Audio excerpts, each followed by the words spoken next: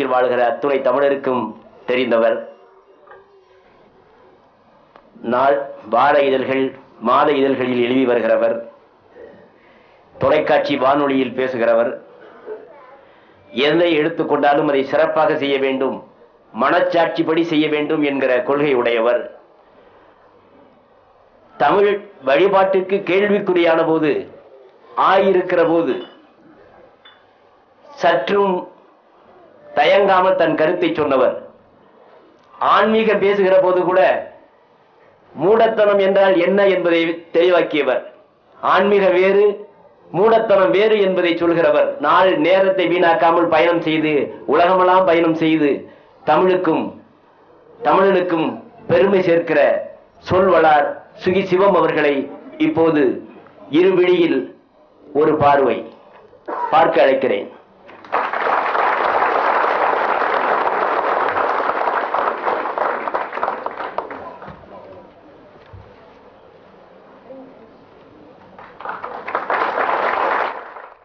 அனைவருக்கும் என்னுடைய அன்பான வணக்கம். நல்ல கவிஞர் நண்பர் அன்பழகன் அவர்களுடைய மணிவிழா. அறுபதாவது வயது பற்றியும் பல்வேறு செய்திகள் பற்றியும் என்னுடைய மிகுந்த மரியாதைக்குரிய தென்கட்சி ஐயா அவர்கள் சொன்னார்கள். இந்த அறுபதாவது வயது கொண்டாடுவதற்கு ஒரு முக்கியமான காரணம் சின்ன வயசுல குழந்தைகள் தன்னுடைய தாய் தகப்பனாருடைய அவருடைய திருமணத்தை எல்லாம் பார்த்திருக்க முடியாது இல்லையா? பார்த்தா அது சரியா இருக்காது. அப்படி ஒரு வாய்ப்பெல்லாம் உண்டாயிட்டு இருக்கு இப்ப நாட்டுல. இருந்தாலும் ஒரு காலத்துல அப்படி ஒரு வாய்ப்பு கிடையாது. தாய் தகப்பனார் கல்யாணத்தை பிள்ளைங்க பார்க்குற வாய்ப்பெல்லாம் அப்ப இல்ல. அப்ப உங்களுக்கு ஒரு ஏக்கம் இருக்கும். நம்முடைய அப்பா அம்மா கல்யாணம் எப்படி நடந்ததுங்கிறத பார்க்கலையேங்கிறதுக்காக அறுபதாவது வயசுல செய்து பார்க்கிற ஒரு வழக்கம் அப்படின்னு வந்தது ஆரம்பத்துல. சின்ன குழந்தைகள்லாம் ஒரு காலத்துல ரொம்ப அசடா இருந்தது. இந்த போட்டோ ஆல்பம் கல்யாண போட்டோ ஆல்பம் அப்பா அம்மா கல்யாண ஆல்பத்தை கையில வச்சுக்கிட்டு சில குழந்தைங்க கேட்கும். இதுல ஏன் படம் இல்லையே? ஒரு காலம் அப்படிதான் இருந்தது. இப்போ அப்படி இல்லை. ரொம்ப தேறிட்டாங்க. பசங்க தெளிவா இருக்கா? ஒரு ஆறு வயசு ஒரு பையன். TV programme serial mega serial போயிட்டு இருக்குது எங்க வீட்டில் உட்காந்து பார்த்துக்கிட்டு இருந்தோம். எதிர் வீட்டிலேருந்து வந்து உட்காந்துருக்கேன் அந்த டிவி சீரியல் என்ன ஒரு காட்சினா ஒரு பொண்ணு கல்யாணத்துக்கு பொன் பார்க்க வர்றாங்க. இந்த பொன் பார்க்க வரும்போது அவள் காப்பி கொடுக்குறா எல்லாத்துக்கும். இப்படி கீழே இப்படி கொண்டு வந்து இப்படி காப்பி கொடுக்குறா. காப்பி கொடுக்குற போதே அந்த கல்யாணத்துக்கு இருக்கிற பொண்ணு மயங்கி கீழே விழுறா. காட்சி அப்படி. மயங்கி விழுந்த மாதிரி. நாங்களாம் அப்படி சீரியலை பார்த்துக்கிட்டு இருக்கிறோம். இந்த ஆறு வயசு பேசணும். ஆஹா! கர்ப்பம் ஆயிட்டாங்க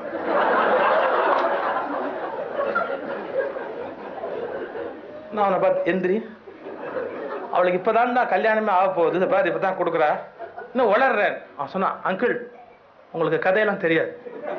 இப்ப அந்த பையன் டாக்டர் எந்திரிச்சு கையை பிடிச்சிட்டு அவ பிரெக்னன்ட்னு சொல்லுவான் பாருங்கன்றான். அப்படியே காட்சி வச்சிருக்கான். இப்ப அவனுக்கு இருக்கிற பொது அறிவு கூட எனக்கு இல்ல. அந்த காலத்துல பிள்ளைகளுக்கு விவரம் தெரியாது. அப்பா அம்மாட்ட உன் கல்யாணத்துல ஏன் நான் இல்லைன்னு கேட்கும். அந்த குழந்தைகளை திருப்தி பண்றதுக்கு அறுபதாவது வயசுல ஒரு கல்யாணம் பண்ணி பார்க்கணும்னு ஒரு மரபு வச்சான். இது சோசியலாஜிக்கல் ரிலிஜியஸா அறுபதாம் கல்யாணம் ஏன் ரொம்ப கிராண்டா பண்ணாங்க அப்படின்னா ஒரு மனிதனுக்கு வாழ்க்கையை பற்றிய கமெண்ட் பாஸ் பண்றது அறுபது வயசானாதான் வாழ்க்கையை பற்றி ஒன்று உச்சரிக்க முடியும். Can pronounce a judgement on life ஏன் அறுபதாவது வயசுல தான் வாழ்க்கையை பற்றி சொல்லணுமா அப்படின்னா ரிலீஜியஸாக அதுக்கு ஒரு காரணம் சொல்வோம். ஒரு மனிதனுடைய வாழ்வியல் அமைப்பில் சனி அப்படிங்கிற பிளாட்டினுடைய இன்ஃப்ளூயன்ஸ் வந்து முப்பது வருஷம் ஒவ்வொரு ராசி வீட்லையும் மாறிக்கிட்டே வரும். நான் ஜோசியத்தை பத்தி ரெண்டு பார்வை உடையவர் அது ஒரு சயின்ஸ்ங்கிற நம்பிக்கை உண்டு. ஆனால் அதை பார்க்கப்படாதுங்கிற ஐடியா உண்டு. அதுதான் பிச்சினிக்காடு சொன்னார். அவர் ஆன்மீகம் பேசுகிற நாத்திகவாதினர் அப்படி இல்லை. பகுத்தறிவு உடைய ஆன்மீகவாதி. அதான் என்னை பொறுத்த வரைக்கும் என் அபிப்பிராயம்.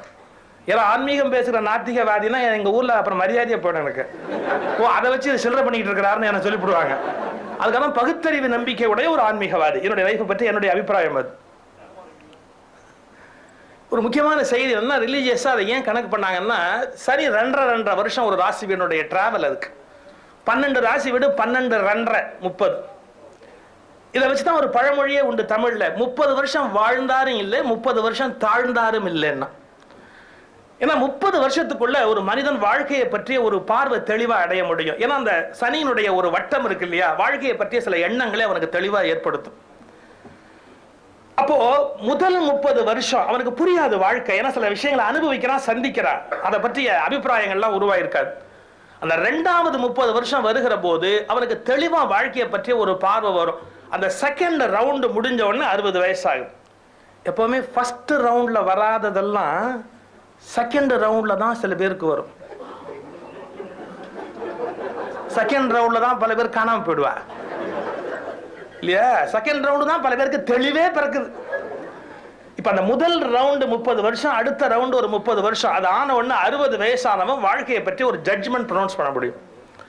அந்த காலக்கணக்கை மனதில் வைத்துக் கொண்டுதான் அறுபது வயதானால் அவர்களை மறுபடியும் மாலையிட்டு வாழ்த்தி ஓ இவர்கள் வாழ்வின் பூரண பகுதியை கண்டவர்கள் ஏற்ற இறக்கங்களை உயர்வு தாழ்வுகளை மான அவமானங்களை புகழ் இகழ் எல்லாவற்றையும் வாழ்வில் சந்தித்தவர்கள். வறுமையை பார்த்துருப்போம் சாப்பாட்டுக்கு இல்லாமல் இருந்திருப்போம் பத்தாயிரம் பேருக்கு சாப்பாடு போட்டிருப்போம். எல்லா எக்ஸ்ட்ரீம் எல்லாத்தையும் நம்ம சந்தித்த காலம் அறுபது வயசு. அதை கணக்கில் கொண்டு அறுபதாவது வயதில் வாழ்வை பற்றிய உண்மைகளை வெளிப்படுத்துகிற அந்த காலத்தை கொண்டாடுகிற ஒரு பழக்கம் ஏற்பட்டிருக்க வேண்டும். அந்த அடிப்படையிலே அறுபது வயது நிரம்புகிற நம்முடைய அன்பழகன் கவிஞர் அவர்களை இங்கே பல பெரியோர்கள் வந்து வாழ்த்துகிற ஒரு இனிய விழா நடைபெற்றிருக்கிறது.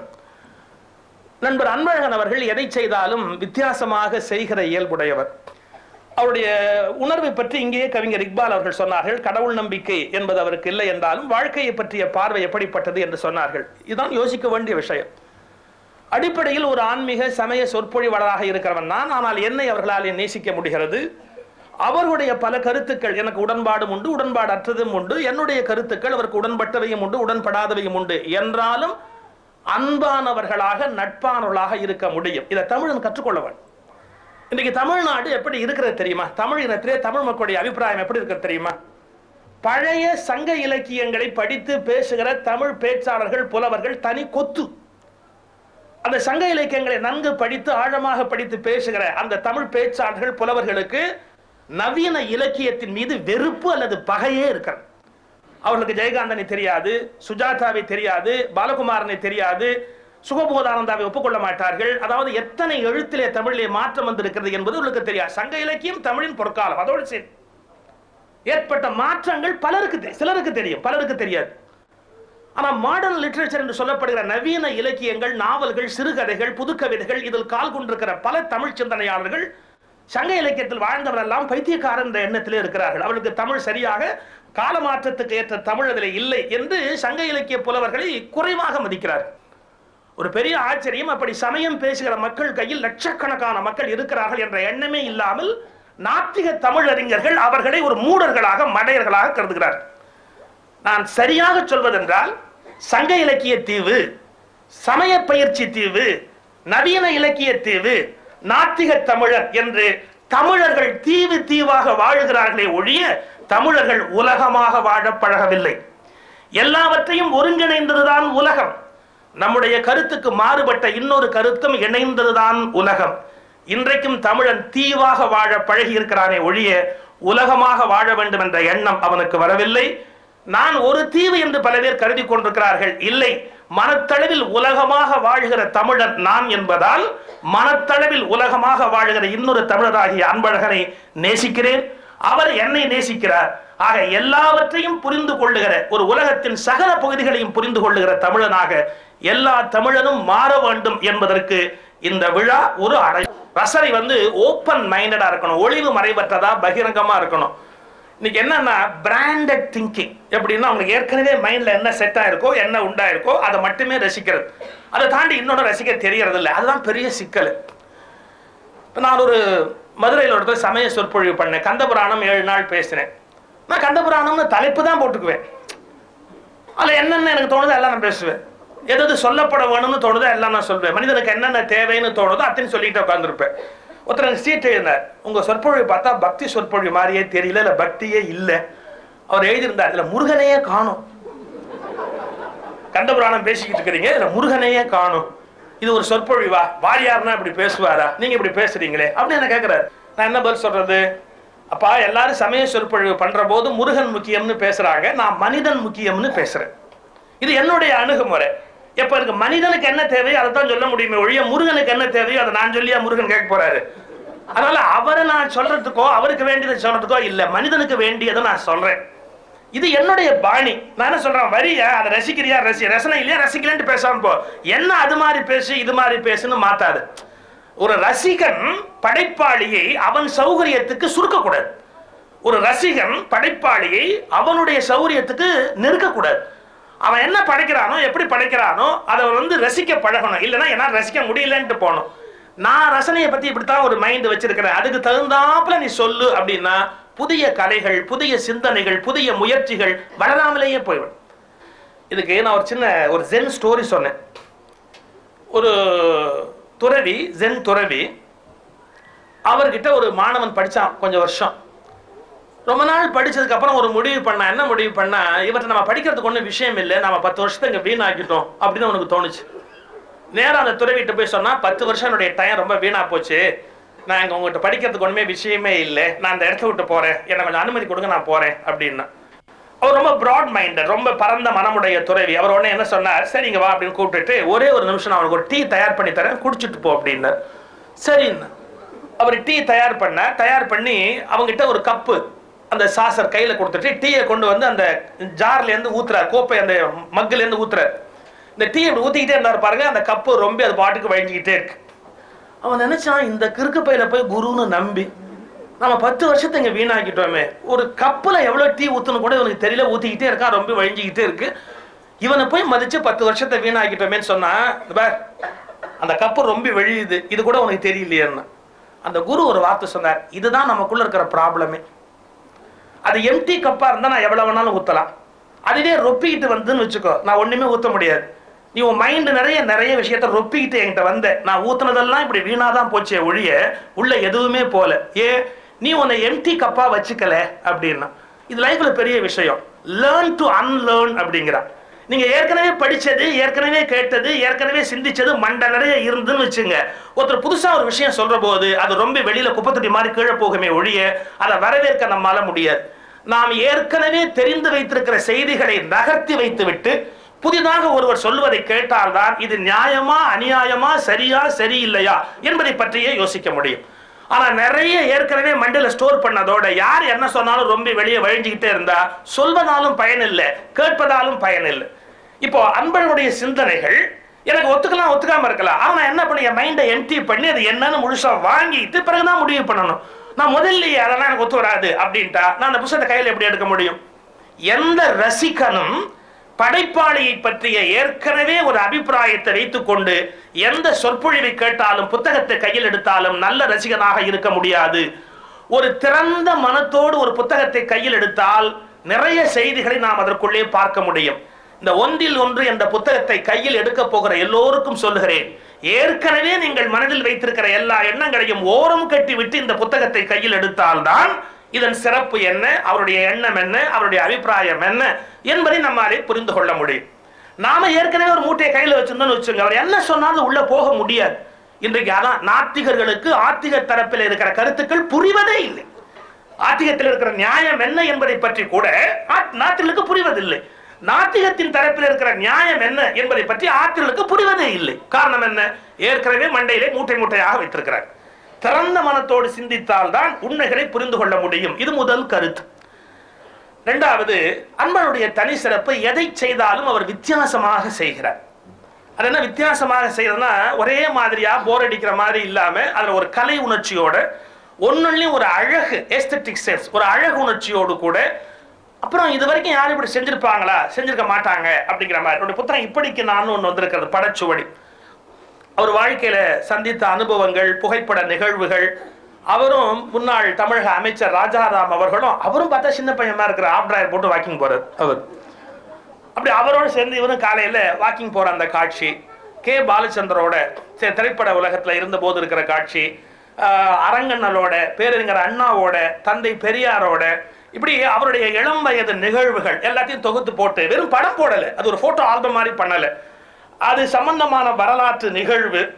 அப்புறம் அவருக்கு அதில் தோன்றிய ஒரு கருத்து. அதையும் சேர்த்து சேர்த்து எழுதியிருக்காரு. ஒவ்வொரு சந்தர்ப்பத்திலும் அவருக்கு மனதில் தோன்றிய ஒரு கருத்து. இவைகளை எல்லாம் தொகுத்து ஒரு புத்தகமாக கொடுத்துருக்காரு இப்படிக்கு நான் அப்படி இதை சொல்லிட்டு மாதிரி எப்படி வித்தியாசமாக பண்ணியிருக்கிறார் அப்படின்னு. நாம் என்ன பண்ணுவோம்? நம்ம லைஃப்பில் எடுத்த ஃபோட்டோ அல்லது விசிடி அல்லது வீடியோ இருந்ததுன்னா யாராவது வந்தால் அவங்கள போட்டு கழுத்தறுப்போம். நீங்கள் இங்கேருந்து ஒரு ரெண்டு வருஷம் ஒரு வருஷம் இருந்துட்டு ஊருக்கு திரும்பி வர்றவங்களுக்கு வந்தவொன்னு ஒரு பெரிய சுமை ஒன்று காத்திருக்கு. அவங்க பல வீட்டு கல்யாணத்தெல்லாம் இந்தியாவில் அட்டன் பண்ணியிருக்க மாட்டாங்க. போன உடனே கேட்பாங்க நீங்கள் நம்ம வீட்டு கல்யாணத்துக்கு வரல வரல. செத்த. ஏன்? நீ வராததுக்கு இப்போ பனிஷ்மெண்ட் ரெடியாக இருக்கும்பா. என்னன்னா ஒரு ஃபோட்டோ ஆல்பத்தை எடுத்து கையில் நாம நாசுக்கா அந்த ஃபோட்டோ ஆல்பத்தை எவ்வளோ வேகமாக புரட்டலாமோ? அவ்வளோ வேகமாக புரட்டும். ஏன்னா ஹியூமன் சைக்காலஜி என்னன்னா நம்ம மூஞ்சி இல்லாத எந்த ஃபோட்டோ ஆல்பமும் நமக்கு ருசிக்காது. ஐம்பதுல இல்லை அப்புறம் எவன் இருந்தால் தான் என்ன எவன் இல்லாட்டா நமக்கு என்ன? ஸோ நமக்கு அந்த ஆல்பத்தில் எந்த விதமான சுவையுமே கிடையாது. இது அவங்களுக்கு தெரியாது. அந்த ஆல்பத்தை கையில கொடுத்து பாரு அப்படிம்பா. நம்ம சந்தடி சாக்குல ரெண்டு பக்கத்தை சேர்த்து புரட்டலாம்னு புரட்டுவோம். வந்துடுவான் அதை விட்டுட்டீங்களே அந்த பக்கத்துல பாருங்க. அது எங்க மாமியாரோட தங்கச்சியோட. அடப்பாவி யார் ஓடனா எனக்கு வரிசை லிஸ்ட் சொல்லுவா. அப்படி எடுத்து அந்தாண்ட உனக்கு காமிச்சிட்டு இருப்பேன் ஐ எம் வெரி கிளியர் இன்னொருவருடைய புகைப்பட ஆல்பம் இன்னொருவருக்கு சுவையானதே அல்ல. ரொம்ப கிளியரா திங்க் பண்ணா இருக்கவே முடியாது. இது வந்து ஹியூமன் டெண்டன்சி ஹியூமன் சைக்காலஜி ஆனால் அதை மாற்றிருக்கார் எப்படி மாத்திருக்கிறாருன்னா இப்ப தனிப்பட்ட முறையில் அவருடைய சின்ன சின்ன விஷயத்தை சொல்லியிருந்தா அந்த புஸ்தக ஆல்பத்தில் யாருக்கும் ஆர்வம் வர முடியாது. ராஜாராம் ஆஃப்டர் ஏர் போட்டு வாக்கிங் போவாருங்கிறது பெரிய விஷயம் இல்லையா? பெரியார் சின்ன வயசுல எப்படி இருந்திருப்பார் அப்படிங்கிறது ஒரு பெரிய விஷயம் இல்லையா? இவருடைய பதினெட்டாவது வயசுல எப்படி இருந்திருப்பார் அப்படிங்கிறது ஒரு பெரிய விஷயம் இல்லையா? அவர் சந்தித்த பெரிய பெரிய மனிதர்களுடைய வாழ்க்கை முறை நிகழ்வுகள் கே பாலச்சந்திரனுடைய தோற்றம் இளமையானது இது எல்லாருக்கும் ஆர்வம் உடையது அந்த புத்தகத்தை வெளியிடுகிற போது வெறும் புத்தக ஆல்பமா வெளியிடாம அந்த பல பொதுவாழ்வு சம்பந்தப்பட்ட படங்களை உள்ள வச்சிருக்கிறதால அந்த புத்தகம் சுவையுடையதாக இருக்கிறது. இதான் சொல்றேன். எது செய்தாலும் வித்தியாசமாக செய்கிறவர்கள் மதிக்கப்படுகிறார்கள் கவனிக்கப்படுகிறார்கள். நான் தினமணி கதில் வெற்றி நிச்சயம்னு ஒரு தொடர் எழுதினேன். அதில் ஒரு ஒரு அத்தியாயம் எழுதின வித்தியாசமாக இருங்கள் ஆனால் விபரீதமாக இருக்காதீர்கள். எல்லாரும் பத்தாயிரம் பத்தாயிரம் ரூபாய்க்கு மேலே பட்டு புடவை கட்டி கழுத்து நிறைய தேர்வடை மாதிரி எட்டு சங்கிலியை போட்டு அது இப்படி புறப்பட்டு அங்கேருந்து வந்தாங்கன்னா எல்லாம் பார்க்கறதுக்கு ஒரு மாதிரி இருக்கும். அந்த இடத்துல ஒரு நூறு ரூபாய்க்கு ஒரு காட்டன் புடவை கட்டி ஒரே ஒரு ரோஸ் வச்சுட்டு ஒரு அம்மா உள்ள வந்தாங்கன்னு வச்சுங்க. டக்குன்னு எல்லாம் அவங்க தான் கவனிப்பாங்க. யாருங்க? அப்படிம்பாங்க. அதான் வித்தியாசமாக இருக்கிறது. எந்த இடத்துல எல்லாராலும் மதிக்கப்படுகிற கவனிக்கப்படுகிற நபரா இருக்கணும்னா வித்தியாசமா இருக்கணும். இப்போ சிக்காகோவில் எல்லாரும் பேசும்போது லேடிஸ் அண்ட் ஜென்டில்மேன் அப்படிங்கிற போது விவேகானந்தர் பிரதர்ஸ் அண்ட் சிஸ்டர்ஸ் வித்தியாசமா ஆரம்பிக்கிறார். உடனே சபை அவரை கவனிக்குது. அவர் என்ன வித்தியாசமா சொல்றாருப்பா. என்ன சொல்றாரு? கவனிக்க ஆரம்பிக்கிறார். வாழ்க்கையில வித்தியாசமாக இருக்கிறவர்கள் மதிக்கப்படுவார்கள் கவனிக்கப்படுவார்கள். ஆனால் விபரீதமாக இருக்கக்கூடாது. கல்யாணம் ஆச்சு. ஒய்ஃப் சொன்னா அனிமூனுக்கு இது வரைக்கும் யாரும் போகாத இடத்துக்கு போகணும்னா ஏறுன ஸ்கூட்டில் வச்சு சுடுகாட்டு கூட்டிட்டாங்க. அவ கேட்டா என்னங்க இது? சுடுகாட்டு கொண்டாந்து நிறுத்திருக்கிறீங்க? நீ தானே சொன்னது வரைக்கும் யாரும் போகாத இடத்துக்கு போகணும் அவ கேட்டா சீ இது ஒரு இடமா இது? இது கொண்டாந்து நிறுத்திருக்கல. அவன் சொன்னான் பாருங்க ஒரு பதில் "ஆ, இன்னும் இந்த இடத்துல உள்ள மட்டமா நினைச்சிட்டு இங்க வரத்துக்கு அவன் அவன் சாவறான். செத்தாதான் சுடுகாட்டுக்கு வர முடியல எப்படி வர முடியும்? இப்ப இவன் வித்தியாசமா பண்ணிருக்கிறான் விபரீதமா பண்ணிருக்கா. நீங்க விபரீதமா இருக்கிறது வேற அது எல்லாராலும் விரும்பப்பட முடியாது. ஆனா வித்தியாசமா இருந்தா கவனிக்கப்படுவீர்கள். எல்லாரும் எப்படியா இருக்கிற போது டாக்டர் அப்துல் கலாம் இன்னைக்கு ஜனாதிபதிகள் வித்தியாசமா இருக்காரு. ஏன்னா ரெட் பட்டு விட்டு நகர்ந்துட்டாலே ஜனாதிபதிக்கு கம்மின்னு நினைக்கிற போது குறுக்க போறாரு ஒரு பாட்டுக்கு. சார் அவருக்கு முத்தமிழிசை சங்கத்தில் ஒரு வரவேற்பு கொடுத்தாங்க தமிழிசை விழாவுக்காக. பத்து பேர் நாரசனம் வச்சாங்க ஒரு பத்து மாணவர்கள் நாரசனம் வச்சாங்க எந்த ஜனாதிபதியும் அவருடைய டெக்கோரத்தை விட்டு இறங்க மாட்டாங்க. விறுவிறுன்னு வந்தாரு நாரசனம் வாச எல்லா பசங்க கையை பிடிச்சாரு எல்லாரோட சேர்ந்து குரூப் போட்டோ எடுங்க எல்லாரோட சேர்ந்து எடுத்துங்க அப்படின்னு நின்று எடுத்தார். அந்த நாடசுர கலைஞர்கள் எவ்வளவு மகிழ்ந்து இருப்பார்கள். ஜனாதிபதி விருது கிடைச்சா கூட ஒரு சந்தோஷம் இருக்காது. ஆனா அந்த நேரத்தில் அவங்க அடைந்த ஆனந்தத்துக்கு எல்லாம் கிடையாது. ஏன்? அவங்க வாசியதுக்கு உடனே பாராட்டும்னு நினைக்கிறேன். நீங்க அந்த அந்த ரசிக்கத்தன்மை அவருக்கு இருக்கிறதா அவருடைய வெற்றிக்கு காரணம். அஹ், ராஜரத்னம் பிள்ளை திருவாரூர் ராஜரத்னம் பிள்ளை மிகச்சிறந்த நாதஸ்வர வித்வான் உங்களுக்கு தெரியும். மிக உன்னதமான சிறந்த நாதஸ்வர கலைஞர். அவருக்கு ஜனாதிபதி விருது கொடுத்தாரு. அவருடைய சங்கீதத்துக்கு. அந்த விருது கொடுத்த போது அவரை கேட்கறாங்க நீங்க வாங்கின விருதுகள்லயே சிறந்த விருது எது? இதான் சொல்ல போறான்னு நினைச்சிட்டு இன்டர்வியூ பண்ணலாம். அதுக்கு அவரு ஒரு வார்த்தை சொன்னாரு. இப்படி யோசிச்சு பார்த்துட்டு நான் ஒரு கல்யாணத்துக்கு நாசனம் வாசிச்சேன் நான் அதிகமாக மாப்பிள்ளை பூர்வத்தெல்லாம் வாசிக்க மாட்டேன். அவர் ரொம்ப கேட்டுக்கிட்டாருன்னு வாசித்தேன் அப்போ எனக்கு பக்கத்தில் ஒரு நரிக்குறவர் இன்னைக்கு ஒரு நாள் ஹார்ட் அட்டாக்கே வராதவங்க அப்படின்னாரு. அந்த நரிக்குறவர் கேஸ் லைட் தள்ள வச்சு எடுத்து வருவாங்க. தான் அந்த காலத்து வழக்கம். தலையில் வந்து ஒரு கேஸ் லைட் வச்சுருப்பாங்க இந்த வெளிச்சத்துக்காக. அப்படி ஒரு கேஸ் லைட் வச்சுக்கிட்டு ஒரு நரிக்குறவர் என் கூடவே வந்தார். நான் வாசிக்கிற போது பக்கத்தில். அப்போ இவர் தோடி ராகம் வாசிச்சாரா? தோடி ராகம் வாசிக்கிறவர் ஒரு பிருகாட்சர். அந்த தோடி ராகத்தில் ஒரு சின்ன ஆலாபனை உள்ளுக்குள்ள கொடுத்து எடுப்பேன் இப்படி பிருகா அடித்த உடனே அந்த நரிக்குறவர் கேஸ் லைட் தலைமையில வச்சிருந்தவர் அதை தூக்கி போட்டு குடிச்சு ஆஹா! அப்படின்னாரு. இவருடைய அந்த இதை பார்த்துட்டு ஆஹா! அப்படின்னாரா. எனக்கு தெரிஞ்சு நான் வாங்கின விருதுலயே அதான் பெஸ்ட் அந்த நரிக்குறவர் பாராட்டினாரு அதான் பெஸ்ட் அப்படின்னு உடனே இன்னொருத்தன் சொன்னா அது எப்படிங்க?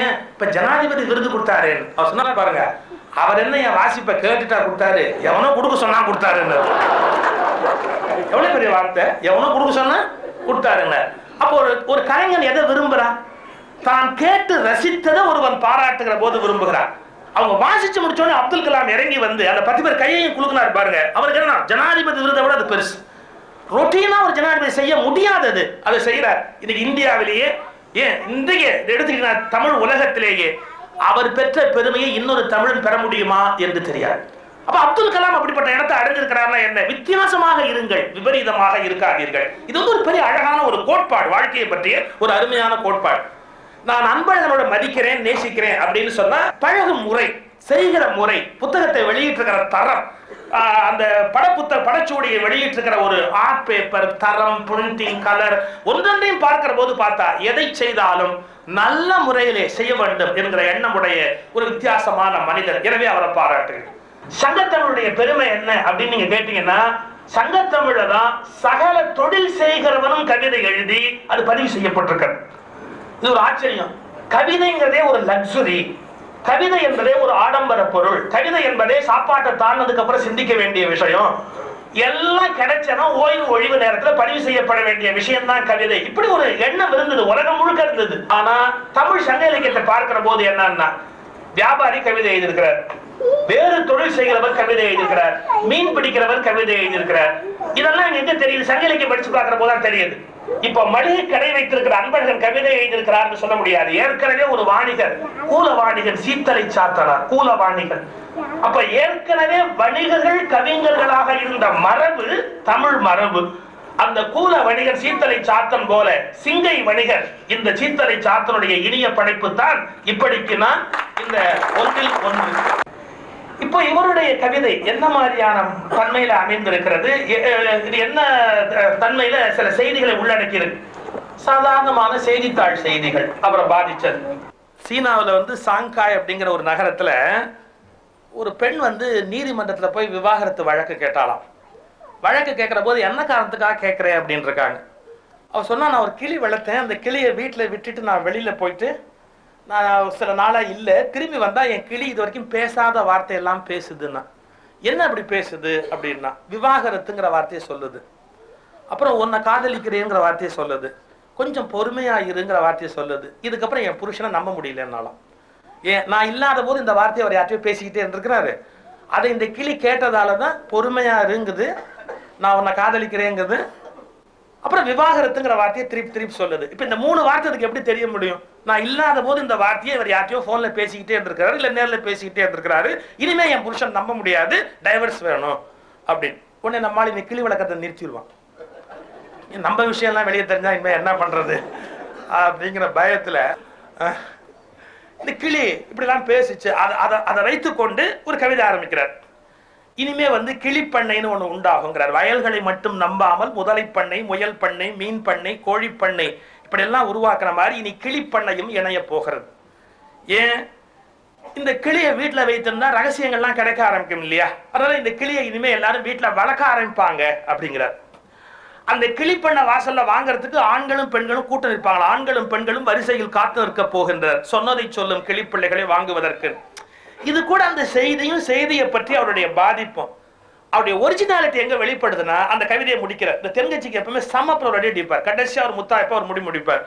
அதே மாதிரி அந்த கடைசி வார்த்தையில தான் அன்பழகன் யார் அப்படிங்கிறது வெளில வருது என்னன்னா இந்த கிளிப்பண்ணையை சொல்லிட்டார். கிளிப்பண்ண வாசல்ல கூட்டம் நிற்கும் சொல்லிட்டார். கடைசி அந்த பாட்டை முடிக்க போறார். இதை ஜப்பான் நாடு உன்னிப்பாக கவனிக்கிறதா? கிளிக்கு பதில் கிளி போல் ஒன்றை உருவாக்க. அவ அதையும் எப்படி கேஷ் பண்ணுவான்? அதை பத்தி ஜப்பானுடைய பார்வை எப்படி இருக்கும்? அப்படின்னு அவருடைய பார்வை இருக்கு பாருங்க. அங்க அந்த தனி மனிதன் சிந்திக்கிற திறனுடைய ஒரு தனி மனிதன் அந்த இடத்துக்குள்ள வெளிப்படுகிறார். அப்போ ஒரு செய்தி அந்த செய்தி அவரை பாதிக்கிற அந்த பாதிப்பு அந்த பாதிப்பை தாண்டி அது பற்றி தான் சொல்ல விரும்புகிற கருத்து. இப்படி ஒவ்வொரு விஷயத்தையும் ஒவ்வொரு கவிதையிலே அவர் படம் பிடித்து கொண்டு வருகிறார். இன்னொரு கவிதை அதை பத்தி கூட தென்கட்சி சொன்னார்.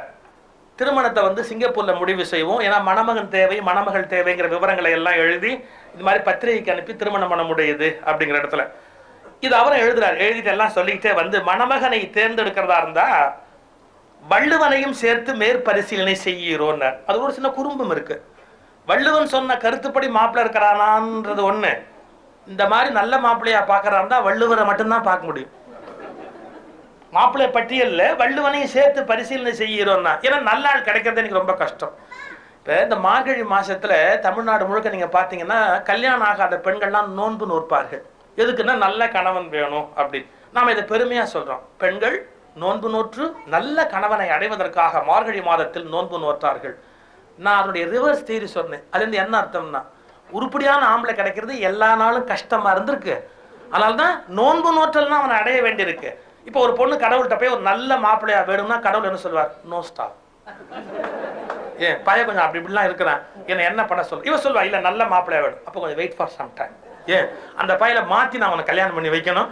கொஞ்சம் டயம் ஆகும்னு சொல்லி நல்ல ஆம்பளை கிடைக்கிறது இன்னைக்கு நேத்திக்கு இல்லை. என்னைக்குமே உலகத்துல கஷ்டமா இருக்கு. இது வந்து ஒரு சமூக பார்வை. நீங்க திருமணத்துக்கு தேர்ந்தெடுக்கிற போது எதை பார்க்கணும் அப்படின்னா திருவள்ளுவர் சொன்ன லட்சணங்களோட இருக்கிறானா அப்படிங்கிறத பாருங்க. அங்க ஒரு வார்த்தை எழுதுறார். மகாத்மாவை விட திருவள்ளுவர் மேல்னு ஒரு வார்த்தை எழுதுறார். ஏன்? மகாத்மா சொன்ன சில செய்திகள் அதையும் தாண்டி திருவள்ளுவர் எவ்வளவு ஆழமா சிந்திச்சிருக்கிறார் அப்படிங்கிற கருத்தை குறிப்பிடுறார். இன்னொரு செய்தி அவரை பாதிக்குது பாருங்க. சீனாவுல ஒரு விலங்கியல் தோற்றத்துல ஒரு சிங்கக்குட்டி அப்புறம் நாற்பது நாள் ஆன புலிக்குட்டிக்கும் ஒரு நாய் வந்து பால் ஊட்டிக்கிட்டு இருக்கு. இது விலங்கியல்ல படிச்ச ஒரு செய்தி ஒரு நல்ல செய்தி.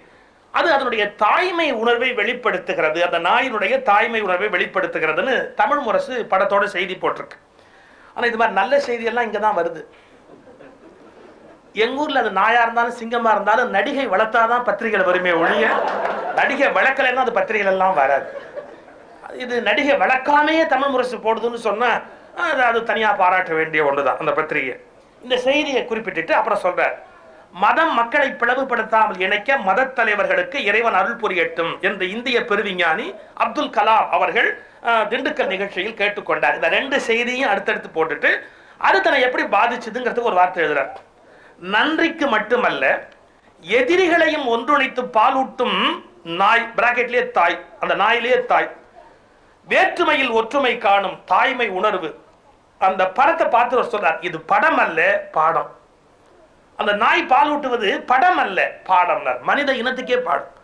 மனிதர்கள் ஏன்னு தெரியல காரணம் இல்லாமலேயே பகைத்துக் கொண்டிருக்கிறார்கள். ஒருவர் மீது ஒருவர் பகை உடையவர்களாக இருக்கிறார்கள். அவங்க எங்கெல்லாம் ஒற்றுமையா இருக்கணுமோ அந்த இடத்துல கூட ஒற்றுமையாக இருக்க தெரியல. அது ரொம்ப முக்கியமான பிரச்சனை என்னன்னா மதம். நீங்க நாத்திகருடைய கோபம் இந்த இடத்துல தான் நியாயமாகுது. அவங்க ஏன் கோபப்படுறாங்கன்னா மதத்தின் பேரால மனிதர்கள் ரொம்ப பகைத்து ஒருவரை ஒருவர் அழிக்கிறார்கள். எனவே இந்த மதம் தேவையான ஒரு விவாதத்தை முன்வைக்கிறாங்க. யோசிக்க வேண்டிய கேள்வி அது. உண்மையில மதம் எதற்கு தோன்றியது அப்படின்னு கேட்டா சமாதானத்துக்காக தான் தோணுச்சு. ஒற்றுமையா இருக்கிறதுக்காக தான் தோணுச்சு. நான் தான் சொல்றது பறக்க விடப்பட்ட சமாதான புறாக்கள் ஒன்றை ஒன்று குத்தி கிழித்ததை போல உலக அமைதிக்கு தோற்றிய மதங்கள் ஒன்றை ஒன்று பகைத்து காயப்படுத்தி விட்டன. நான் ஒரு சின்ன இன்சிடென்ட் சொல்றேன். நபிகள் பெருமகனார் தோழர்களோட உட்கார்ந்து இருக்கிறார் நம்ம கற்றுக்கொள்ள வேண்டிய செய்தி பாருங்க. தோழர்களோட உட்கார்ந்து இருக்கிறார் அப்போ திராட்சை கொத்து கொண்டு வந்து ஒரு வயதான மூதாட்டி. நான் வயதான மூதாட்டின்னு சொல்லக்கூடாதுல்ல மூதாட்டினாலே வயசானவங்க தான் அர்த்தம். ஒரு திராட்சை கொத்து கொண்டு வந்து கொடுக்குறாங்க நபிகள் பெருமகனார்ட்ட நபிகளுடைய இயல்பு எப்படின்னு கேட்டிங்கன்னா எதுவாக இருந்தாலும் பக்கத்தில் இருக்கிற நபி பங்கிட்டு தான் அவர் சாப்பிட்ருக்கார் தனியாக சாப்பிட்டதா வரலாறு கிடையாது. ஒரு ஈத்தம்பழமாக இருந்தாலும் அதை கீறி பங்கிட்டு கொடுக்குற பண்பாளர் அவர். ஆனால் அந்த திராட்சையை கொண்டு வந்து வச்சோன்னு பார்த்தார் அந்த அம்மா சொல்கிறார் இதை நீங்களே சாப்பிடணும் இதனுடைய விருப்பம் அப்படிங்கிறார். அவர் ஒரு பழத்தை எடுத்துட்டு வாயில போட்டார். பேசிக்கிட்டே இருக்கிறார் எல்லா பழத்தை எடுத்து அவரே வாயில போட்டார். சுத்தி இருந்த நபித்தோழருக்கு கொடுக்கல. அந்த அம்மாவுக்கு ரொம்ப சந்தோஷம். அப்ப முடிஞ்சு எழுந்திருச்சு போயிட்டா. எழுந்திருச்சு போனதுக்கு அப்புறம் மற்ற தோழர்கள்லாம் கேட்கறாங்க பெருமகனாரு நீங்க இது வரைக்கும் இப்படி சாப்பிட்டதே கிடையாது. எது கொடுத்தாலும் எல்லாரும் கொடுப்பீங்க. ஆனா ஒரு பழம் பாக்கி இல்லாம சாப்பிட்டீங்களே இது என்ன ஆச்சரியம்? ஏன் இப்படி சாப்பிட்டீங்க? அதுக்கு ஒரு பதில் சொன்னார். நான் ஒரு பழத்தை உனக்கு கொடுத்துருந்தா கூட உன் முகம் காட்டி கொடுத்துருக்கும். ஏன்? அவ்வளவு புளிப்பு. அத வாயில வச்சோடனே முகத்தை சுண்டி இருப்பேன் இது ஒரு பழமா அப்படின்னு இருப்பேன் துப்பி இருப்பேன் ஏதாவது ஒண்ணு பண்ணிருப்ப அந்த அம்மா முகம் எவ்வளவு வாடி போயிருக்கும்? கொண்டு வந்தவங்க முகம் எவ்வளவு வாடி போயிருக்கும்? அப்படி ஒரு விபத்து நடக்கக்கூடாது அப்படிங்கிறதுக்காக அது அத்தனையும் கஷ்டப்பட்டு நானே சாப்பிட்டேன் எவ்வளவு பெரிய பண்பாடர் கொண்டு வந்திருக்கிறாங்க. அது சரியில்லை. அவங்க மனசு நோகக்கூடாது. இது பண்பாடு. இப்ப நபிகளுடைய வாழ்க்கையில மட்டும்தான் இது நடந்ததா? இஸ்லாம் மட்டும் படிச்சவங்களுக்கு அடுத்த இலக்கியம் தெரியலன்னா சிக்கல் ஆரம்பமாயிடும். உலகத்தில் ஒரே பண்பாளர்னு அவரை நினைக்க ஆரம்பிப்பாங்க. ராமனுடைய வாழ்க்கையில் நடக்கலையா? ராமனை தேடி குகன் வர்றான் தேனையும் மீனையும் கொண்டு வர்றான். அவன் மீன் சாப்பிடுறது இல்ல கம்பனுடைய ராமன் வந்து செய்வோம் கம்பனுடைய ராமன் செய்வோம் நான் ரொம்ப எச்சரிக்கையா பேசுறேன். அவன் தேனையும் மீனையும் கொண்டு வந்து கையில கொடுக்குறான் அப்ப என்ன சொன்னான் தெரியுமா? பவித்திரம் தழியது எண்ணில் அன்பில் அன்பில் தழி பரிவினில் தழியது எண்ணில் பவித்திரம். நம்ம எங்க எல்லாருக்கும் உண்டானம். நான் சாப்பிட்டேன்னு நினைச்சுக்கோ அப்படின்னா. நான் இந்த தேனையும் மீனையும் சாப்பிட்டதாவே நினைச்சுக்க என்ன? அப்படின்னு எல்லா முனிவர்களும் முகம் சுளிக்கிறார்கள். ஆனா ராமன் நான் அதை சாப்பிட்டேன் அப்படின்ட்டு இது அன்பால் தழுவப்பட்டது. பவித்திரம்னு ஒரு வேர்டு யூஸ் பண்றான் பவித்திரம்னா உலகத்திலேயே புனிதமானதுன்னு அர்த்தம். ரெண்டாச்சா இயேசுவோட வாழ்க்கையில நிறைய சொல்லலாம் உங்களுக்கு எத்தனை பேர் மனம் நோகக்கூடாது என்று வாழ்ந்த உலக பேர் அருளாளர் இயேசுகிறார். நீங்க வேதத்தை மறுத்த சிந்தனையாளர் பகவான் புத்தர். புத்தருடைய வாழ்க்கையில் ஒன்று சொல்றேன். புத்தர் உட்கார்ந்து இருக்கிறார் ஒரு நாள் ஒரு ஏழை தினந்தோறும் வந்து எங்க வீட்டுல சாப்பிட வரணும் அப்படிம்பா. பிக்ஷைக்கு வாருங்கள்னு கூப்பிடுறது புத்த சம்பிரதாயம். எங்க வீட்டுக்கு பிக்ஷைக்கு வாங்க. புத்தர் வரேன் வரேன் வரேன்னு சொன்னவர் திடீர்னு ஒரு நாள் சொன்னார் இன்றைய பிக்ஷை உங்க வீட்டுல என்ன? அவளை கை காமிச்சு. அவன் வீட்டுக்கு போனா ஒண்ணுமே இல்லை. அந்த ஏழை வீட்டை சமைக்கிறதுக்கு ஒண்ணுமே இல்லை. உங்களுக்கு தெரியும் பீகார்ல எல்லாம் இந்த மழை பெஞ்ச போது பெருசா ஒரு நாய்க்கொடை வரும். அந்த நாய்க்கொடையை பதப்படுத்தி வச்சிருப்பாங்க மழைக்காலம் முடிஞ்சதுக்கு அப்புறம் சாப்பிடறதுக்காக. அந்த நாய்க்கொடையை பதப்படுத்தி வச்ச நாய்க்கொடையை இவருக்கு சமைச்சு போடுறான். அதுல காளான் பூத்துருச்சு. அதுவே காளான் அதுல விஷக்காளான் பூத்துருச்சு. அவருக்கு தெரியாது கொடுத்துட்டான் புத்தர் சாப்பிடுறார். சாப்பிட்ட உடனே அவருக்கு என்னமோ பண்ணுது. சாப்பிட்டு எந்திரிச்சார். அவர் என்ன வார்த்தை பயன்படுத்தினார் தெரியுமா? இவன் எனக்கு கொண்டுட்டான்னு சொல்லல. இவன் வீட்டுல சாப்பிட்டான் சாக போறேன்னு சொல்லல. அவர் ஒரு வார்த்தை சொன்னார். உலகத்தில் இரண்டு பேர் மறக்க முடியாதவர்கள். தாய் முதல் முதலில் பாலூட்டியதால் மறக்கப்பட முடியாதவள். பசிக்கு பால் கொடுத்த தாய் முதல் உணவு கொடுத்தவள். அவள் எவ்வளவு வணக்கத்திற்குரியவளோ அவ்வளவு இவரும் வணக்கத்திற்குரியவர். ஏனென்றால் அவள் முதல் உணவு ஊட்டினாள் இவர் இறுதி உணவு ஊட்டியிருக்கிறார். அந்த வார்த்தை எவ்வளவு உயர்ந்த வார்த்தை பாருங்க. எனவே இவரை கொண்டாடுங்கள். புத்தருக்கு கடைசி உணவு அளித்த பாக்யவான் என்று இவரை கொண்டாடுங்கள் விஷம் கொடுத்துட்டான் எனக்கு விஷம் கொடுத்துட்டான்னு புத்தர் கோவப்படலையே. எனக்கு கடைசி உணவு ஊட்டிய பாக்யவான் என்று இவனை அறிவியுங்கள்னு சொல்றார். நபிகள் கெடுதலான திராட்சையை கூட கருணையால் உண்ணுகிறார். தான் உண்ணாத மீனை கூட உண்டதாக ராமன் கருதுகிறார். தனக்கு ஒவ்வாத விஷத்தை கொடுத்தவனை கூட கடைசி உணவு ஊட்டிய பாக்யவான் என்று புத்தர் அறிவிக்கிறார். ஒன்றை புரிந்து கொள்ள வேண்டும். புத்தருக்குள்ளும் இயேசுக்குள்ளும் நபிகளுக்குள்ளும் ராமனுக்குள்ளும் எந்த கருத்து வேறுபாடும் இல்லை. ஆனால் நபிகளை பரப்புவதற்கு இடையிலும் புத்தரை பரப்புவதற்கு இடையிலும் ராமனை பரப்புவதற்கும் இடையிலே கருத்து வேறுபாடுகள் வேண்டுமானால் தோன்ற முடியுமே ஒழிய ஞானிகளுக்கு மத்தியில் ஒருபோதும் கருத்து வேறுபாடு தோன்ற முடியாது. அதுக்கு என்ன வேணும்னா ஒரு பொறுமை வேணும் ஒரு ஆழம் வேணும். அதை நோக்கி உள்ள போகிற ஒரு பக்குவம் வேணும். அதுக்கு கவலைப்படுகிறார். என்னையும் அவரையும் இணைத்த இடம் எது என்றால் இது. நான் சமயம் சார்ந்தவர் என்றாலும் பொதுமை இல்லையே என்று வருந்துகிறவர். அவர் வேறு ஒரு கோணத்தில் இருந்து சமயத்தால் சிக்கல் வருகிறதே என்று கவலைப்படுகிறவர். அந்த வார்த்தை பாருங்க. ம- இது வந்து ஒவ்வொரு மதமும் புரிந்து மத தலைவர்களுக்கு போதிக்க வேண்டிய முதல் பாடம். முதல் பாடம். அவங்க உலகத்துக்கு முதல்னு கடவுளை சொல்றாங்களே அவர்களுக்கு போதிக்கப்பட வேண்டிய முதல் பாடம். ஒரு புதுக்கவிஞன் புதுக்கவிதை இருக்கான் தமிழ்நாட்டில். எவ்வளவு கடுமையான வார்த்தை தெரியுங்களா? அந்தோணி சாமிக்கும் ஆரோக்கிய மேரிக்கும் பிறந்திருந்தால் நீ கிறிஸ்தவனாகிறாய். அப்துல்லாவுக்கும் அஹ், வேறொரு ஆயிஷ் அப்துல்லாவுக்கும் ஆயிஷாவுக்கும் பிறந்திருந்தால் நீ இஸ்லாமியனாகிறாய். அண்ணாமலைக்கும் ஆறுமுகத்தாய்க்கும் மகனாக பிறந்திருந்தால் நீ இந்துவாக ஆகிறாய். எவ்வளவு சிம்பிளா முடிச்சா பார். யாருக்கும் யாருக்கும் பிறந்தால் மனிதன் ஆவாய் யாருக்கும் யாருக்கும் பிறந்தால் நீ மனிதன் ஆவாய் எவ்வளவு வலிமையான ஒரு கேள்வி. கவிஞர்கள் சமூகத்தின் மீது வைத்திருக்கிற அக்கறை ஆக்ரோஷம். மத தலைவர்களுக்கு போதிக்க வேண்டிய முதல் பாடம். என்ன அர்த்தம்? ஒரு நாய்க்கு இருக்கிற பக்குவம் கூட இந்த ஞானிகள் என்று சொல்லிக் கொள்கிற பல பேருக்கு இல்லையே என்பதை பதிவு செய்கிறார். இப்படிப்பட்ட அவருடைய சமூக அக்கறை தமிழ் மீது அவர் கொண்டிருக்கிற அந்த ஈடுபாடு இதைகளெல்லாம் யோசிக்க வேண்டிய ஒன்று. நீங்க எல்லாரும் எதுல கவலைப்படுவாங்களோ அந்த கவலைப்படாத விஷயங்களுக்கும் கவலைப்படுறவன் தான் உண்மையான ஒரு கவிஞனாவே இருக்க முடியும். அது என்ன கவலைப்படாத விஷயம்? போலார் கரடிக்குட்டி அது விலங்கியல் தோற்றத்தில் பிறந்த பிறகு அந்த குட்டியை பற்றி ஒரு செய்தி. என்ன? அது ஆனா பெண்ணா என்று தெரியாததால் இன்னும் அதற்கு பெயர் வைக்கவில்லை. இது ஒரு செய்தி. அடுத்தது மிஸ் யூனிவர்ஸ் அழகி போட்டியில் பிரான்ஸ் அழகி இருபது வயது கிலோடி. ஆனால் அது ஆனா பெண்ணா என்ற சோதனைக்கு உட்படுத்த வேண்டிய கட்டாயம் வந்து அவர் ஆண் என்று தெரிந்திருந்தால் அழகி போட்டியிலிருந்து விலக்கப்பட்டிருப்பார். இது ரொம்ப சிக்கலான ஒரு செய்தி.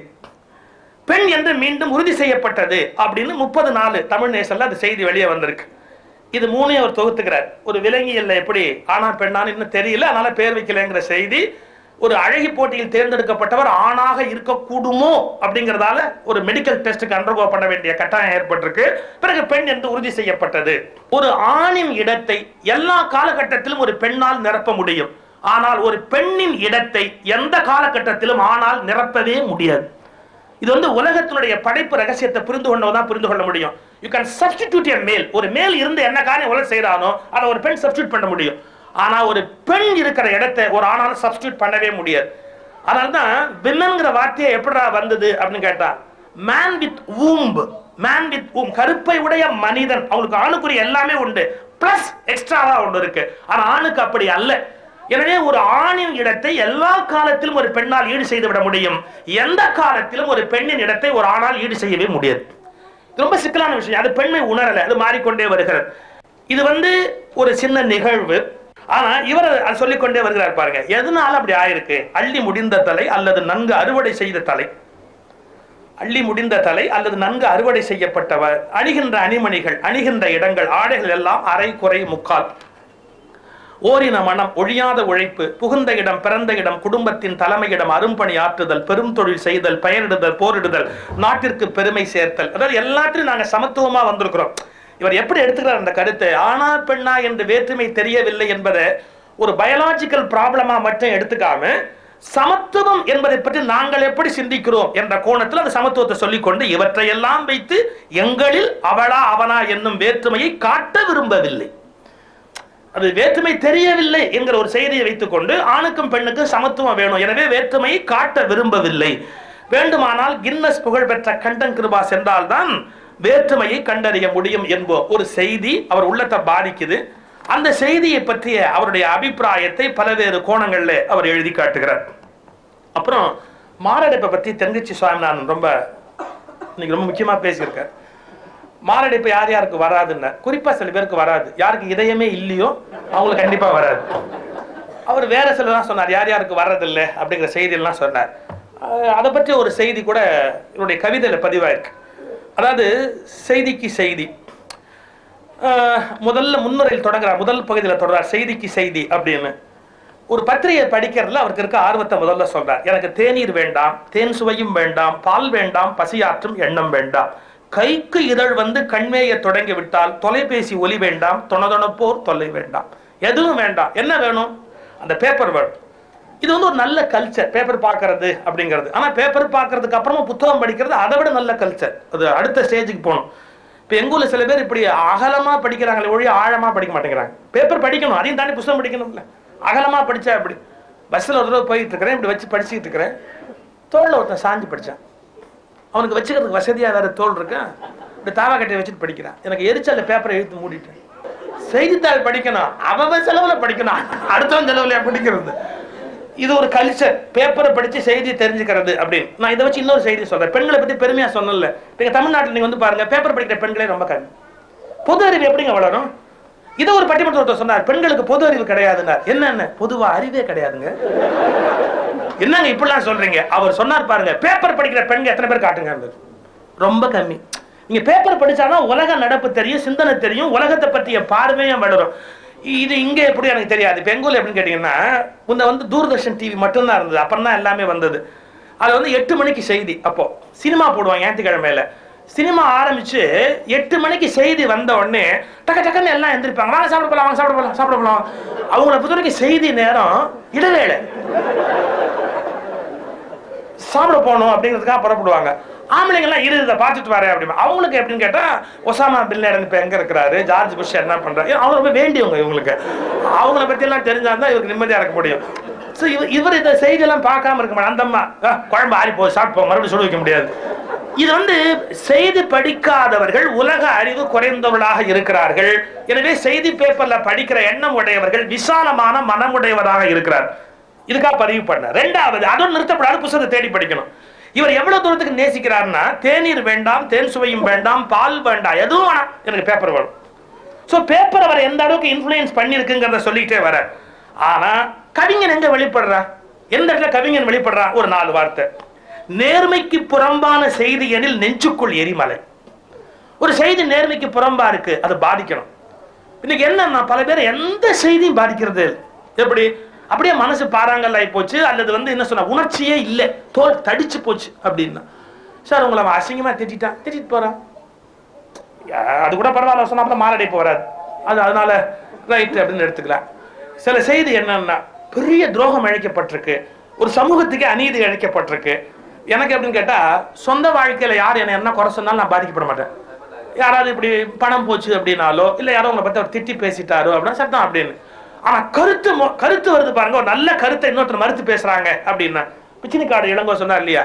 தமிழ் அர்ச்சனை தமிழ்நாட்டில் செய்யலாம்னு சொன்ன போது செய்தால் சாமிக்கு சக்தி கிடையாதுன்னு சொன்னால் ரொம்ப பொங்கிட்டேன். ஏன்? இது ஒரு மொழியவே அவமானப்படுத்துகிற விஷயம். ஒரு மொழிக்கு சக்தி இல்லை நம்ம எப்படி ஒரு ஸ்டேட்மெண்ட் கொடுக்கலாம்? ஆனால் தமிழனுக்கு அந்த சொரணையே இல்லை. அதை பற்றி கவலைப்படவே இல்லை. அவன் என்ன சொன்னா எதுல இருந்தாலும் பரவாயில்ல சாமி சில்லறை கொடுத்தா சரிதான் நமக்கு. அதோட சரி. அது எதுல இருந்தா நமக்கு என்ன? அப்படின்ட்டான். பட் என்னால அதை ஜீர்ணிக்க முடியல. அந்த இடத்துல நான் ரொம்ப கோவப்படுவேன். என்ன யாராவது ஒருத்தர் சமஸ்கிருதம் தெரியாத முட்டாள் அப்படின்னா கவலை கிடையாது. அதை பத்தி ஒன்றும் ஆட்சேபனை கிடையாது. சில செய்தி நம்மளை பாதிக்கணும். பாதிச்சாதான் சரியா வாழணும்னு அர்த்தம். அவர் சொல்றாரு பாருங்க நேர்மைக்கு புறம்பான செய்தியில் நெஞ்சுக்குள் எரிமலை. நிகழ்ச்சியான செய்தி எனில் நீர் உருளும் கண்களில். ஒரு அழகு இருக்கு. ஒரு மனுஷனே எரிமலையாவும் இருக்கிறான் பனிமலையாவும் இருக்கிறான். பனிமலை நதியை பெருக்குது எரிமலை நெருப்பை பெருக்குது. ஒரு மனுஷன் ஒரு கணத்துல எரிமலையா வெடிக்கிறான் இன்னொரு கணத்துல பனிமலையா உருகிறான். இதுதான் கவிஞனுடைய சிறப்பு. ஒரே நேரத்தில் எல்லா மலைகளும் எல்லாமா இருக்க முடியாது. எரிமலைகள் பனிமலைகள் ஆவதில்லை. பனிமலைகள் எரிமலைகள் ஆவதில்லை. கவிஞன் ஒருவன் மட்டும்தான் பனிமலையாகவும் எரிமலையாகவும் இருக்க முடியும் என்பதை கவிஞர் அன்பழகன் நிரூபித்து காட்டியிருக்கிறார். நேர்மைக்கு புறம்பான செய்திகளில் நெஞ்சுக்குள் எரிமலை நான் கவிஞன் எரிமலை.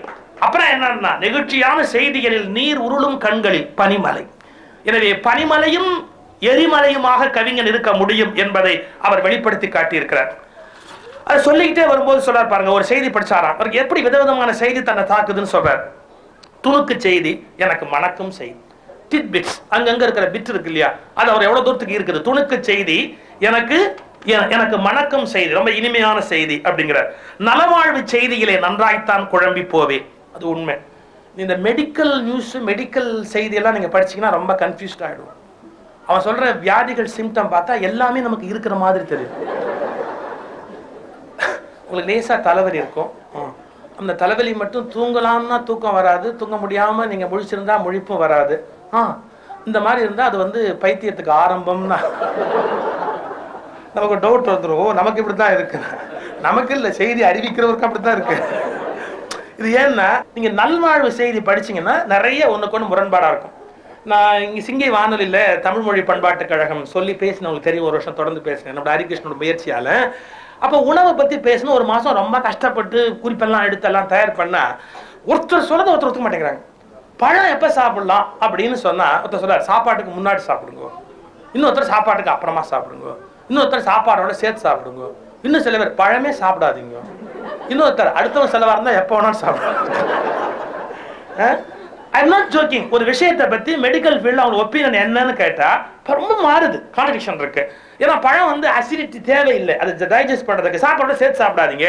அதை சாப்பாடு சாப்பாட்டுக்கு ரெண்டு மணி நேரம் முன்னாடி சாப்பிட்ருங்க அப்புறமா சாதம் சாப்பிடுங்க அப்படிங்கிறாங்க. இன்னும் சில பேர் என்ன சொல்றாங்க அப்படின்னா வெறும் பழம் சாப்பிடாதீங்க. அதுல வந்து பைனாப்பிள் மாதிரி இருந்தால் அதுலேயே ஆசிட் ஜாஸ்தியா இருக்கும். ஸோ அதை பேலன்ஸ் பண்ற மாதிரி ஏதாவது ஒரு பொருள் கொடுத்தே ஆகணும். இப்படி சோ மெனி ஐடியாஸ் நிறைய மெடிக்கல் செய்தியில. இன்னும் சில மெடிக்கல் செய்தி அப்படின்னா பால் சாப்பிடலாமா சாப்பிடக்கூடாதாங்கிற இன்ன வரைக்கும் பெரிய பிரச்சனை. ஏன் அப்படின்னா பாலையே வந்து வெள்ளை யமன்னு சொல்றவங்க இருக்கிறாங்க. சைலண்ட் கில்லர் அப்படிங்கிறான் பால் சாப்பிட்டு வந்து அமைதியாக செத்து போயிடலாம் அப்படிங்கிறா. ஏன்? அது சைலண்ட் கில்லர் அது உடம்புல சில தொந்தரவு உண்டு பண்ணும். ஸோ எந்த மெடிக்கல் செய்தியுமே கன்ஃபியூஸ்டாக இருக்கும். அதனால தான் டாக்டர்களுக்கு வாழ்க்கை நல்லா இருக்கு. இந்த கன்ஃபியூஷன் இருக்கிற வரைக்கும் நம்ம அவங்க போய் கிளாரிஃபை பண்ணிக்கிட்டே இருப்போம். என்ன டாக்டர் நீங்கள் என்ன சொல்கிறீங்க அப்படின்னு. அது சில சமயம் நம்மளோட டாக்டர் கன்ஃபியூஸ்டாக இருப்பார். அது பெரிய சிக்கல் போனால் டாக்டர்கிட்ட அஹ், என்னமோ பண்ணுதுன்னா அவர் எப்படி ஸ்டெத்தஸ்கோப் வச்சு சொன்னாராம் இங்கே ஒரு டிராக்டர் ஓடுற மாதிரி இருக்க? எப்படி டாக்டர் இவ்வளோ கரெக்டாக சொன்னீங்க? இந்த இடத்துல ஒரு லாரி ஸ்டார்ட் பண்ணுற மாதிரி இருக்குமே ஆமாம் டாக்டர். வயிற்றில் வந்து ஒரு துப்பாக்கி சுடுற மாதிரி ஒரு சவுண்ட் வந்துக்கிட்டே இருக்குமே. ஆமாம் எனக்கும் அப்படி தான் இருக்குது ஒரு நல்ல டாக்டர் கிடைக்காம நான் உட்காந்துருக்கிறேன் அதான் நீ யாரையா பார்த்தா எனக்கு வந்து சொல்லுனாருந்தான் தான் நீங்கள் எல்லா மனுஷனுங்க பொதுவான பிரச்சனை. இந்த நல்வாழ்வு செய்தி அவரை எப்படி பாதிச்சிருக்கு? ஒரு சின்ன விஷயம் சொல்கிறார் பாருங்க. நலவாழ்வு செய்தியிலே நன்றாய்த்தான் குழம்பி அது பேரே நலவாழ்வா குழப்பிடுச்சான் அவர். மதியத்தில் உறங்கினால் புதிய பலம் வரும் சில டாக்டர் சொல்றது தான் நீங்க எப்படிதான் மத்தியானம் கொஞ்சம் தூங்கிக்கோங்க. கவிஞர் கண்ணதாசன் சொன்னாரு ராஜாஜி சொன்னாராம் அவருக்கு? நீ நல்லா தூங்கிட்டா ராத்திரி பேச்சு நல்லா வரும். நீ மீட்டிங் எல்லாம் பேச போறல மத்தியானம் தூங்கிட்டா நல்லா பேச்சு வரும். கண்ணதாசன் முடிச்சாரு. ராஜாஜி சொன்னதை அப்படியே நான் அடாப்ட் பண்ணேன். ராத்திரி நல்ல பேச்சு வருதோ இல்லையோ மத்தியானத்துல தூக்கம் நல்லா வருதுன்னு கண்ணதாசனுடைய ஸ்டேட்மெண்ட் அது. நீங்க ஒரு கோடியை விட ஒர்த்து எதுன்னா மத்தியானம் தூங்குறது தான் அப்படிங்கிற. எனக்கு டாக்டர் போன உடனே கேட்டார் நீ மத்தியானம் தூங்குவீங்களான்னு? கண்டிப்பா தூங்குவேன். அது வரைக்கும் இங்க இழைக்கவே முடியாது. உங்களுக்கு உடம்பை இழைக்கும் நீங்க முடிவு பண்ணா மத்தியானம் தூக்கத்தை முதல்ல விடுங்க அப்பதான் உங்களால் இழைக்கவே முடியும். நான் சொன்னேன் நான் தூங்காம மேடைக்கு போயிட்டா மேடையில போய் இந்த வேலையை செஞ்சா அஹ், முழிச்சுக்கிட்டு பேசினாலே பல பேர் தூங்குறாங்க. நான் தூங்கிக்கிட்டே பேச ஆரம்பிச்சா அதை பத்தி எனக்கு தெரியாது. நீங்க இழைக்கணும்னா மத்தியானம் தூங்கக்கூடாது. மத்தியானம் தூங்கினா உடம்பு கண்டிப்பா படுத்துரும். ஹவுஸ் ஒய்ஃப் வீட்டில் எல்லாருக்கும் உடம்பு பருக்கிறதுக்கு காரணமே மத்தியானம் அவங்க போட்டு தூங்குற தூக்கம் தான் அப்படின்ற. இப்போ தூக்கத்தை பற்றி எத்தனை ஐடியா ஆனால் நல்லா தூங்கிட்டீங்கன்னா ஈவினிங் நிறைய ஒர்க் பண்ணலாம் நிறைய வேலை பார்க்கலாம். ரெண்டு தேரி இருக்கு. இவர் சொல்ற மதிய மதியத்தில் உறங்கினால் புதிய பலம் வரும். ஜெர்மானி அலுவலகத்தில் சிறிது நேரம் ஒதுக்கீடு. ஜெர்மன்ல அலோவே பண்ணிட்டான் கல்ஃப் கண்ட்ரிஸ் கூட அப்படிதான். ஃபோர் ஹவர்ஸ் லஞ்சுக்கு விட்டுறாங்க. ஒன் ஓ கிளாக் போயிட்டு திரும்ப எல்லாம் ஃபோருக்கு தான் திரும்பி வர்றாங்க. Let them have a nice rest என்னது வெயில் நாடு. இப்போ அவர் சொல்றார் சிறிது நேரம் ஒதுக்கீடா. செய்தி. அடுத்தது என்ன? மதியம் உறங்கினால் மாரடைப்பு வரும். பெரிதொரு செய்தி. இப்ப என்ன பண்ணலாம்? மாரடைப்பு வர வரைக்கும் தூங்கலாம். தூங்குனா மாரடைப்பு வரும். இந்த செய்தி அவரை எப்படி பாதிக்குது அப்படிங்கறத பதிவு பண்றார் எதுக்காக சொல்றேன்? ஒவ்வொரு செய்திக்கும் ஒவ்வொரு வகையான தன்மை இருக்கிறது. படிப்பதற்கு முன்னுள்ள ஈர்ப்பு படித்த பின் இல்லையே அதனால்தான் செய்தித்தாள் செய்தி தாளானதும். அது என்ன இருந்தாலும் தாள் தான் அது கடைசியா வர்றதுதான். அது உப்பு சத்து இல்லாம ஒரு காலத்துல போகக்கூடியதுதான். நாளைய செய்தித்தாள் நாளை செய்தித்தாள் விடுமுறை எனில் அவருக்கு சில பத்தில போட்டிருப்பான் நாளை விடுமுறை அப்படின்னு. அது அவரை பாதிக்குதான் நாளைய செய்தித்தாள் விடுமுறை எனில் நானாக தயாராவேன் நோன்புக்கு. அன்னைக்கு விரதமா? இன்னும் படிக்கிறதுக்கு அந்த செய்தி இல்ல இல்ல. பசிக்கு படிக்காததும் அறிவு பசிக்கு ஒரு நோன்பு தானே. அருமையான வார்த்தை. நான் படிக்காத நாளெல்லாம் பட்டினி நினைக்கிறார் பாருங்க. பேசாத நாளெல்லாம் பிறவா நாளேன்னு ஞானிகள் சொன்னாங்க. அவர் படிக்காத நாளெல்லாம் பட்டினி நாளே என்று நினைக்கிறார். அறிவை நேசிக்கிற ஒரு தமிழனை பார்க்கிற போது இன்னொரு தமிழன் நான் சந்தோஷப்படுகிறேன். அறிவை நேசிக்கிற தமிழர்களை இன்றைக்கு பார்ப்பதே கடினமா. பொழுதுபோக்கத்தான் நேசிக்கிறான். ஆட்டம் பாட்டத்தை விரும்புறான். பொழுதுபோக்க விரும்புறான். கொண்டாட்டத்தை விரும்புறான். ஆனா அறிவை நேசிக்கிற தமிழர்கள் குறைந்து கொண்டே வருகிறார். நான் வேடிக்கைக்கு சொல்லவில்லை. ஒரு நல்ல அருமையான முயற்சி. எல்லாத்தை விட அவருடைய அந்த பிரசன்டேஷன் பர்ஃபெக்ஷன் அவர் சொல்லிட்டார் தங்கச்சி பர்ஃபெக்ஷனை பத்தி ரொம்ப கஷ்டப்படுறவங்க கஷ்டப்படுவாங்க அப்படின்னு எங்களுக்கெல்லாம் அப்படி கஷ்டப்படுறது தாங்க ஜாலியாவே இருக்கு. ஹியூமன் டெண்டன்சி ஒவ்வொருத்தருக்கும் ஒன்று ஒன்று மாறி மாறி போய் அந்த பெர்ஃபெக்ஷனுக்காக நம்ம எடுத்துக்கிற முயற்சி இருக்கு பாருங்க அவர் சொன்ன தீரி கரெக்ட் நீங்க பர்ஃபெக்ஷன் சொல்றது பர்ஃபெக்ஷன் இல்லைங்கிறார். அது உன் ஐடியா அது இன்னொருத்தருக்கு பர்ஃபெக்டா தோணாது அப்படின்னு சொல்றார். ஐ எம் நான் ஒத்துக்கிறேன் ஐ அக்ரி இருந்தா கூட அன்பழகன் அந்த புத்தகத்தை கொண்டு வராருன்னா அவருடைய வடிவு அந்த லெட்டர்ஸ் அதுக்குரிய அந்த வசனங்கள் வார்த்தைகள் தேர்வுகள் எல்லாத்திலையும் அவர் காட்டியிருக்கிற அக்கறை. அந்த படச்சுவடியும் சரி. இந்த விழாவை அமைப்பதற்காக அவர் எடுத்துக்கொண்ட அக்கறை ஆறு மாதங்களுக்கு முன்பு தொலைபேசியில பேசி தேதியை உறுதி பண்ணி முறைப்படுத்தி அவ்வளவு அக்கறை எடுத்துக்கொண்டார். எனவே அவருடைய அந்த உழைப்பை பர்ஃபெக்ஷனை நோக்கி போகிற அந்த மனோபாவத்தை மிகவும் பாராட்ட வேண்டும். அவருடைய துணைவியாரை பற்றி நிறைய பெருமைகள் எல்லாம் சொன்னார்கள். அவருடைய இத்தனை கருத்து ஒரு கவிஞனை ஒரு மனைவி சகித்துக் கொள்வது என்பதே பெரிய காரியம். எக்ஸென்ட்ரிக்காக இருப்பான் சார் கவிஞன் வந்து எக்ஸென்ட்ரிக் உங்களுக்கு எப்போவுமே நார்மலாக இருக்க மாட்டான். அப்நார்மலா இருப்பான். சமயத்தில் வித்தியாசமா நடந்துக்குவான். ஒரு கவிஞர் வீட்டை விட்டு வெளியே போகிற போதெல்லாம் சார் வீட்டை விட்டு அவர் வெளியே போகும்போது வீட்டை திறந்து போட்டுருவாரு. அவர் வீட்டுக்குள்ள வந்தோடனே வெளியில பூட்டிக்கிற மாதிரி ஒரு ஏற்பாடு பண்ணார். ஏன்டான்னா இந்த வீட்டில் இருக்கிற விலை மதிப்பில்லாத பொருளே நான் தான். அப்போ நான் வெளியே போனால் அப்புறம் திறந்து கிடந்தா என்ன இது? நான் இருக்கும்போது தான் பூட்டிக்கணும்னா. இந்த எக்ஸென்ட்ரிக் ஆட்டிடியூட் வந்து கவிஞனுடையது. அதுக்கு தான் சொல்கிறேன் ஒரு கவிஞனை எழுத்தாளனை படைப்பாளியை உலகம் பாராட்டும் மனைவி ஒத்துக்கொள்வது என்பதே பெரிய காரியம். பேச்சாளனுக்கு ஊரெல்லாம் பாராட்டா இருக்கும். அந்த மாதிரி சொல்ல கெடுத்துட்டீங்களா ஊரு? ஆ, தூத்துக்குள்ள கெடுக்கணுமா? கூப்பிடுறாங்க. போயிட்டு வரீங்களா? ஒரு நாள் ஒரு வேலைக்கு வந்து சோறு திங்க மாட்டீங்களா? ஒரு மணி ஒன்றரை மணி? ஆ? என்ன லைஃப் இது? வாங்க. ஆ. அவருடைய அபிப்பிராயத்தில் அப்படிதான் இருக்க முடியும். மனைவி அப்படிதான் நார்மலாக இருக்க முடியும். எனவே ஒரு கவிஞனை ஒத்துக்கொள்வது என்பதே பெரிய விஷயம். ஏற்றுக்கொண்டு இவ்வளவு காலம் வாழ்வது என்பது மிக மிக பெரிய விஷயம். அந்த பெருந்தன்மையுடைய சகோதரியாரை வாழ்த்தி அவர்களையும் மீண்டும் ஒரு முறை பாராட்டி இந்த அருமையான விழாவுக்கு அழைப்பை ஏற்று வந்திருக்கிறவங்கள் ஒவ்வொருவரையும் மனப்பூர்வமாக பாராட்டி இந்த நல்ல முயற்சியில் ஒரு மேலும் மேலும் வெற்றி பெற வேண்டும் என்று வாழ்த்தி வணங்கி வாய்ப்புக்கு நன்றி கூறி விடைபெறுகிறேன். வணக்கம்.